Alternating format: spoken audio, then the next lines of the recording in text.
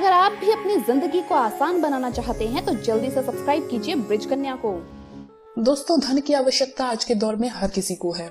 कोई माने या ना माने, लेकिन पैसे के बिना आज के समय में अपनी ज़िंदगी बिता सकना बेहद मुश्किल है, या फिर शायद असंभव ही है, क्योंकि हम कुछ भी करें, उसके लिए हमें धन की आवश्यकता होती ही है।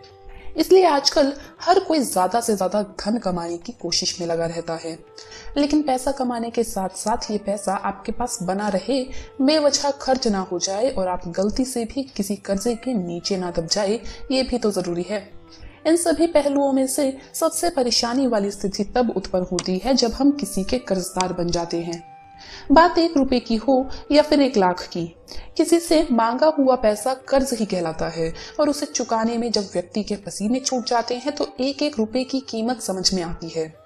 अमूमन लोगों के साथ ऐसा ही होता है। वो ज़रूरत पड़ने पर किसी मित्र या रिश्तेदार या फिर बैंक से कर्ज ले लेते हैं, लेकिन जब उसे चुकाने की बारी आती है, तब हालत खराब हो जाती है।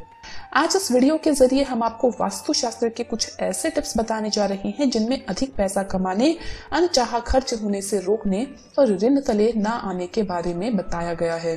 सबसे पहले, जाने ऐसे वास्तु टिप्स जिनसे घर में आप माँ लक्ष्मी का प्रवेश करवा सकते हैं। हमारे घर में जब धन आता है तो हम उसे एक खास जगह पर रखते हैं।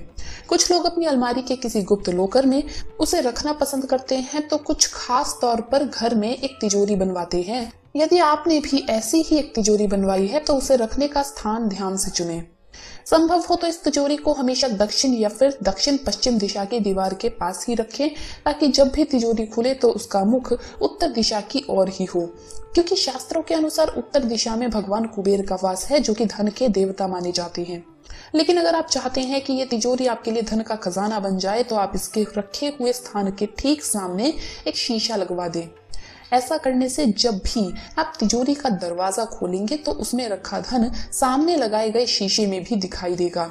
ऐसा करने से वो धन दोगुना दिखाई देगा और वास्तु मान्यताओं के अनुसार ये तरीका सच में धन को दोगुना करने के लिए कारगर साबित होता है। लेकिन जब कभी लगे कि आपके जीवन में धन से संबंधित बाधाएँ आनी शुरू हो गई है तो अपने घर या ऑफ़िस की उत्तर दिशा को परख लें। क्या आप जानते हैं कि धन पाने में प्रकृति भी आपकी काफ़ी मदद करती है? जी हाँ हम पेड़ पौधों की ही बात कर रहे हैं। अगर आप इनकी मदद से सुख और समृद्धि पाना चाहते हैं तो अपने घर और ऑफ़िस में मनी प्लांट लगवाएँ। छोटे घरों में व्यक्ति मनी प्लांट लगाने के अलावा अन्य विकल्पों का चयन भी नहीं कर सकता।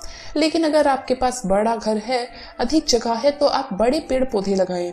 इन्हें घर की दक्षिण पश्चिम दिशा में ही लगाएँ। लेकिन भूल कर भी बड़े पेड़ पौधों को घर या ऑफ़िस की उत्तर पूर्व दिशा में ना लगवाएँ। ऐसा करने से आर्थिक तंगी आती है और बाहर की ओर धन का प्रवाह होने लगता है। धन पाने के लिए आप केवल दक्षिण पश्चिम दिशा का ही प्रयोग करें, लेकिन घर की मध्य दिशा को हमेशा खाली रखें।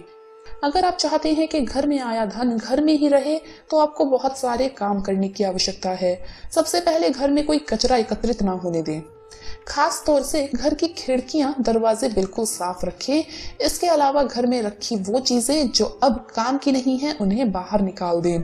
लेकिन अगर आप उन चीज़ों को काम में लाना चाहते हैं तो उनका प्रयोग करें, उन्हें ठीक करवाकर दोबारा इस्तेमाल करें। लेकिन अगर आप उपयोग नहीं करना चाहते हैं तो इन्हें जल्द से जल्द बाहर कर दें। ऐसी चीज़ें घर की सुख शांति को भंग करती है। आखिर में एक और ज़रूरी बात, अगर किन्हीं कारणों से आपने कर्ज ले भी लिया है तो कर्ज की पहली किश्त हमेशा मंगलवार को चुकाएँ। वास्तु मान्यताओं के अनुसार ऐसा करने से आपका कर्ज जल्द से जल्द उतर जाता है। तो दोस्तों, आपको ये वीडियो कैसा लगा हमें कमेंट्स में ज़रूर बताएँ। इस वीडियो को लाइक करें, अपने दोस्तों के साथ शेयर करें। फिर मिलेंगे दोस्तों अगली वीडियो में, तब तक के लिए अलविदा।